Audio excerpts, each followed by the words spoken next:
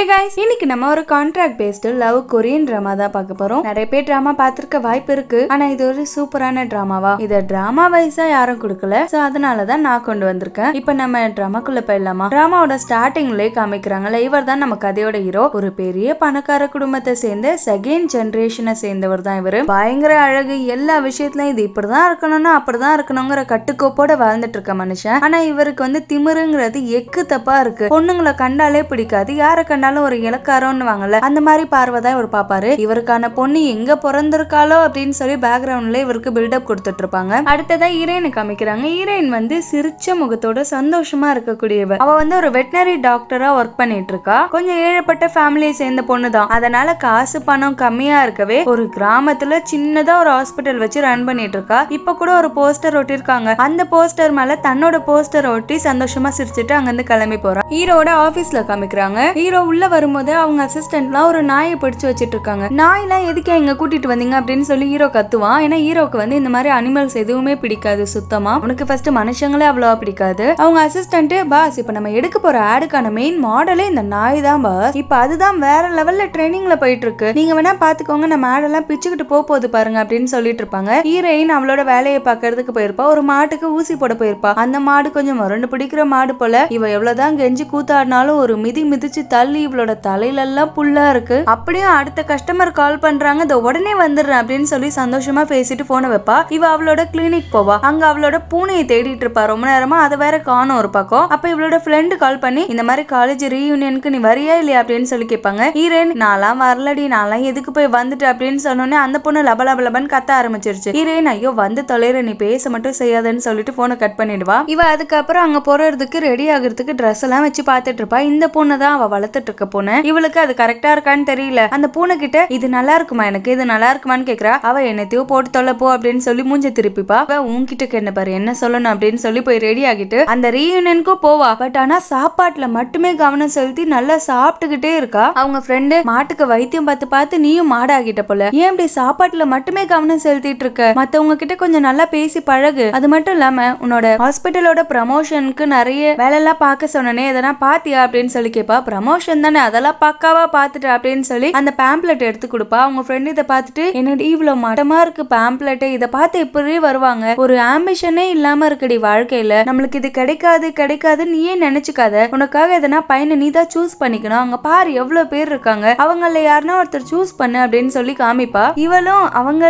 அப்படின்னு சொல்லி பார்த்துட்டே இருப்பா. திடீர்னு அந்த பக்கம் ஒரு லைட் போட்டு காமிக்கிறாங்க. பார்த்தா எல்லாருமே அங்கிள்ஸ் ஐயோ அதெல்லாம் விடு. அப்புறமா பாத்துக்கலாம்னு சொல்லி தலையாடிட்டு இருப்பா. அப்பதான் இந்த பொண்ணை காமிக்கிறாங்க. இந்த பொண்ணு யாருன்னா இவ ஒரு மேனாமெனிக்கு. ஹீரோயின் கொஞ்சம் ஏழப்பட்ட குடும்பத்தை சேர்ந்த பொண்ணுங்கிறதுனால ரொம்ப எப்ப பாரு ஹீரோயினை பார்த்தாலே இவளுக்கு மட்டமா எதனா பேசணும் தான் தோணும். இப்ப ஹீரோயினை பார்த்துட்டு என்ன மேடம் புதுசா கிளினிக் எல்லாம் ஓபன் பண்ணிருக்கீங்களா எங்கம்மா இல்லையா இல்ல கங்கம்லயான்ட்டு இருக்க எல்லா பெரிய இடத்தோட பேரையும் சொல்லி கேப்பா. ஹீரோயின் ஒரு சின்ன கிராமத்தோட பேரை சொல்லுவா. அந்த பேர் எந்த இடத்துல இருக்குன்னு கூட இவளுங்களுக்கு தெரியல. இப்படி ஒரு பேர்லாம் இருக்கா? அப்படின்னு சொல்லி கேட்டதுக்கு ஹீரோயின் இல்ல இங்க இருந்து ஒரு ஒன் ஹவர் தான் டிராவல் அந்த இடம் ரொம்பவும் ஃப்ரெஷ்ஷா இருக்கும் கிளீனா இருக்கும். பாக்குறதுக்கே சூப்பரா இருக்கும் அப்படின்னு சொல்லுவா. அதுங்க நீ சொல்றத வச்சு பார்த்தா ஒரு கிராமத்துல தான் உன்னோட கிளினிக் இருக்கு போல. அப்ப வெறும் ஆட்டுக்கும் மாட்டுக்கும் மட்டும்தான் மேடம் ட்ரீட்மெண்ட் பார்க்க முடியும் போல அப்படின்னு சொல்லி நக்கலா கேட்பாங்க. ஹீரோயினே யோசிச்சு பாக்குறா இது வரைக்கும் அவ மாடுக்கு மட்டும்தான் ட்ரீட்மெண்ட் பார்த்துட்டே இருக்கா. வேற எதுவுமே அவ பார்த்ததே இல்ல. அச்சச்சோ ஒரு மட்டமான வாழ்க்கையை தான் நீ வாழ்ந்துட்டு இருக்க போலயே. ரொம்ப பாவம் தான் நீ அப்படின்னு சொல்லி நக்கலா பேசுவா. ஹீரோயினோட ஃப்ரெண்டு கடுப்பாயிடுது. ஏ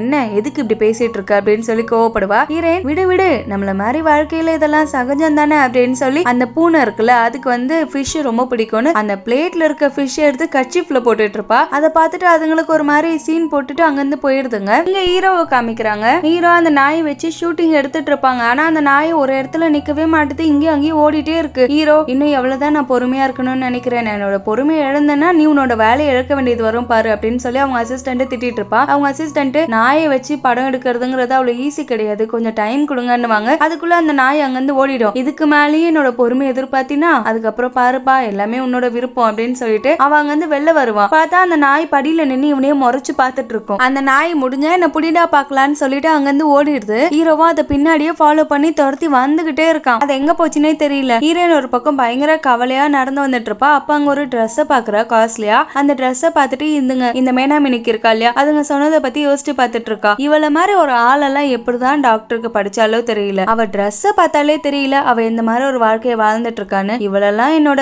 கிளாஸ்மேட்டுன்னு சொல்றது நினைச்சாலே எனக்கு ஒரு மாதிரி எம்பாஸ்டா இருக்கு அப்படின்னு சொல்லி சீன் போட்டுட்டு இருப்பா ஹீரோயின் இப்ப அதை நினைச்சு பார்த்து ஃபீல் பண்ணிட்டு இருக்கா ஃபைனலி ஒரு ஜூஸ் கடையை பார்த்துட்டா அங்க உட்காந்து இப்பதான் நிம்மதியா ஜூஸ் குடிச்சிட்டு இருப்பா தூரத்துல அந்த நாய்க்குட்டி வாசல்லே நின்று ஃபீல் பண்ணிட்டு இருக்கு அதுக்கு வந்து ரொம்ப ஹார்ட்டாக இருக்கு போல தாங்க முடியல. அதனால நின்றுட்டு இருக்கு இவ ஒரு வெட்டினரி டாக்டர் தானே இவளுக்கு கரெக்டா புரிஞ்சிருச்சு. இவ அதுக்கு தண்ணி குடிப்பாட்டிட்டு இருப்பா ஈரமா அந்த நாயை கண்டுபிடிச்சிட்டான். நீ தான் இருக்கியா நாயை இதுக்கு மேல உன்னை சும்மா விட மாட்டேன்னு சொல்லி தண்ணி குடிச்சிட்டே இருக்கும். அப்படியே வந்து அந்த காலரை பிடிச்சு இழுப்பான் ஹீரோயின் நிமிந்து பாக்குற அந்த சூரியனோட வெளிச்சம் தான் தெரியுதே. கண்டி அவனோட முகம் இவளுக்கு கிளியரா தெரியல. எழுந்து நின்று நீ என்ன பண்ணிட்டு இருக்க அப்படின்னு கேட்பா அதெல்லாம் மதிக்காம அவன் பாட்டை இழுத்துட்டே இருப்பா. இவன் நீ என்ன பண்ணிட்டு இருக்க அப்படின்னு சொல்லி கத்துவா. உனக்கு என்ன? என்னோட நாயை நான் இழுத்துட்டு போயிட்டு இருக்கேன் உனக்கு என்ன அதுல பிரச்சனை இருக்கா? அப்படின்னு சொல்லி கேட்பா உன்னோட நாயா இருந்தாலும் நீ இப்படி ட்ரீட் பண்ணவே கூடாது. அது தண்ணி தானே குடிச்சிட்டு இருக்கு அது தண்ணி குடிச்சு முடிக்கிற வரைக்கும் வெயிட் பண்ணு. குடிச்சிட்டு அதுவே வரும். அது வரைக்கும் நீ என்ன பண்ணாலும் அது வராது. அது பாக்குறதுக்கு தான் இவ்வளவு பெருசா இருக்கு. அதுவும் குட்டி குழந்தை தான் அப்படின்னு இவ எவ்வளவுதான் சொன்னாலும் மதிக்காம இழுத்துட்டே இருப்பான். இவன் நீ தான் ஓனரா அப்படின்னு சொல்லி கேப்பா. அவன் நான் ஓனர் கிடையாது. ஆனா நான் இதுக்கு காசு கொடுத்து வாடகைக்கு கூட்டிட்டு வந்திருக்கேன். எனக்கு அங்க ஷூட்டிங் நடந்துட்டு இருக்கு இப்போ இது இங்க உட்காந்துட்டு இருக்கிறதுனால எனக்கு எவ்வளவு லாஸ் ஆகும்னு தெரியுமா? உனக்கு என்ன அதை பத்திலாம் தெரிய போகுது? நீ உன்னோட வேலையை பாரு அப்படின்னு சொல்லுவான். இவ கொஞ்சம் வெயிட் பண்ணு. அது தண்ணி குடிச்ச அப்புறம் நானே கூட்டிட்டு வந்து அங்க விடுறேன். உனக்கு புரியுதா இல்லையா? அங்க எவ்வளவு ஒரு லைட்டிங் இருக்கும். நம்ம பாடி ஹீட்டை விட அதோட பாடி பயங்கரமா ஹீட் ஆகும். அந்த ஹீட்னால அதுக்கு ரொம்ப ஸ்ட்ரெஸ் ஆகும். அதெல்லாம் அதால தாங்க முடியாது. அந்த சின்ன அறிவு கூட இல்லையா உனக்கு? நீ எல்லாம் எப்படி ஒரு மனுஷனா இருக்க அப்படின்னு சொல்லி பயங்கரமா பிடிச்சு